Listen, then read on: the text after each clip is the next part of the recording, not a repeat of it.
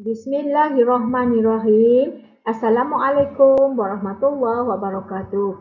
Sekali lagi bersama saya Cikgu Hasmila di dalam mata pelajaran Bahasa Melayu tahun 5. Hari ini kita akan belajar berkenaan dengan unit 15 kerana Malaysia di bawah tajuk Kejuaraan Warga Malaysia. Pernahkah murid-murid mendengar perkataan ini? Cerai berai, bukit bukau, sedu sedan, kusut masai, gelap gelita, ulang alik, lauk pauk, anak pinak, kayu kayan, lekak lekuk, warna warni, kuih muih dan kacau bilau. Pernah tak murid-murid mendengar perkataan ini? Pernah. Kadang-kadang kita ada membaca di dalam buku teks bahasa Melayu. Perkataan-perkataan ini pernah kita baca. Mungkin murid-murid tidak perasan. Jadi hari ini sebenarnya kita ingin belajar berkenaan dengan kata ganda berentak. Sebelum kita pergi lebih jauh, kita perlu mengetahui apakah itu maksud kata ganda berentak. Sebelum kita mengetahui apa maksud kata ganda berentak, apa kata kita ketahui dulu apakah objektif pembelajaran dan kriteria kejayaan kita pada pagi ini.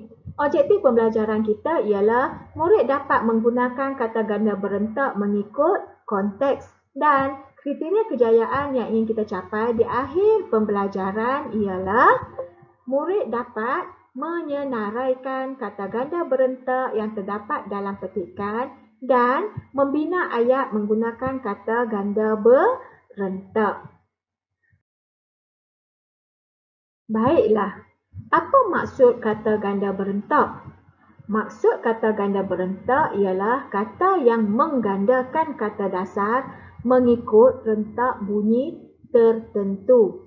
Saya ulang ya murid-murid. Maksud kata ganda berentak ialah kata yang menggandakan kata dasar mengikut rentak bunyi tertentu. Mungkin murid tidak faham tetapi selepas penerangan saya, murid-murid pasti akan faham. Saya akan jelaskan satu persatu apakah maksud menggandakan kata dasar mengikut rentak bunyi tertentu. Di sini terdapat tiga jenis kata ganda berentak iaitu yang pertama kata ganda berentak pengulangan vokal. Yang kedua kata ganda berentak pengulangan konsonan. Dan yang ketiga kata ganda berentak bebas. Apa bezanya ketiga-tiga jenis kata ganda ini? Saya akan terangkan selepas ini murid-murid pasti akan faham selepas mendengar penerangan ini. Saya akan terangkan yang pertama iaitu kata ganda berentak pengulangan vokal. Apa itu kata ganda berentak pengulangan vokal? Kita lihat dulu apakah contoh-contohnya.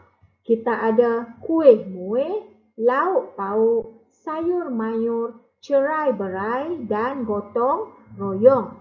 Jika murid-murid melihat perkataan-perkataan ini, murid-murid akan dapati adanya pengulangan vokal di dalam kata ganda tersebut.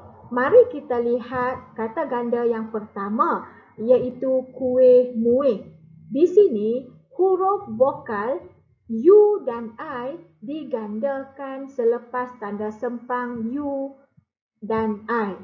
Begitu juga lauk pauk, vokal A dan U digandakan A dan U. Begitu juga dengan sayur mayur, A dan U digandakan selepas tanda sempang A dan U. Cerai berai, E dan A digandakan E dan A. Gotong royong, O dan O digandakan lagi selepas tanda sempang O dan O. Jadi, saya harap murid-murid boleh faham ya. Bermaksud, pengulangan vokal iaitu vokal huruf vokal digandakan selepas tanda sempang. Kuih, muih, lauk, pauk, sayur, mayur, cerai, berai dan gotong royong. Baiklah murid-murid, seterusnya kita ketahui apa itu kata ganda berentak pengulangan konsonan. Kita lihat dulu apakah contoh-contohnya. Kita ada batu batan, gunung ganang, dolak dalih, huyung hayang, huru hara dan kontang kanting. Apakah itu pengulangan konsonan? Bermaksud huruf konsonan diulang selepas tanda sempang iaitu huruf konsonan B dan T diulang B dan T dalam batu batan. Gunung Ganang juga mengalami pengulangan konsonan huruf G, N, N dan G. Di sini juga kita dapat lihat Ganang adanya pengulangan G, N, N dan G. Begitu juga dengan Dolak Daleh, Huyung Hayang, Huru Hara dan Kontang Kanting. Kita boleh kita boleh lihat adanya pengulangan konsonan yang telah saya tandakan dengan warna merah. Saya harap murid-murid faham ya pengulangan konsonan berbeza dengan kata ganda berentak pengulangan vokal. Seterusnya kita ketahui apakah itu kata ganda berentak bebas. Contoh-contoh kata ganda berentak bebas adalah seperti riuh rendah, tinggi lampai, simpang siur, susur galur dan sahabat handai. Di sini kita dapat lihat ya murid-murid tidak adanya pengulangan sama ada dari segi vokal atau konsonan. Jadi perkataan-perkataan ini diletakkan di bawah kata ganda berentak bebas. Seterusnya murid-murid, kita ingin melihat apakah kata ganda berentak yang ada di dalam petikan pada muka surat 114 buku teks Bahasa Melayu tahun 5. Jadi, mari kita baca bersama-sama. Malaysia melahirkan seorang lagi pelumba basikal berbakat iaitu Muhammad Nur Aiman Muhammad Zarif dalam siri Litua di Langkawi kejayaan rakan sepasukan Muhammad Harif Saleh sebelumnya telah memberi beliau motivasi. Lebih membanggakan, pelumba tim Safura Cycling TCS itu menamatkan keluh kesah penantian bagi gelaran Raja Bukit iaitu jersey merah sejak edisi pertama pada tahun 1996 pencapaian gemilang itu meletakkan beliau sebaris dengan atlet lumba basikal seperti Anwar Manan dan adik Husaini Osman.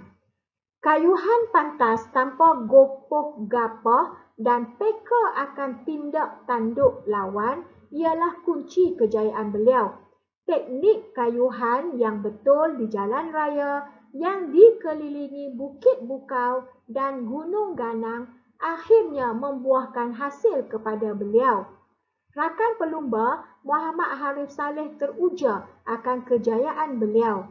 Harif sudah menganggap Aiman seperti saudara mara sendiri. Mereka juga sering berulang alik ke Kuala Lumpur untuk bertanding dalam beberapa kejohanan. Selok belok pertandingan dan pengalaman telah mengajar mereka erti juara sememangnya mereka layak bersaing dalam kejohanan besar. Warna-warni kejayaan itu sebagai hadiah kepada negara daripada warga negara yang gigih berjuang.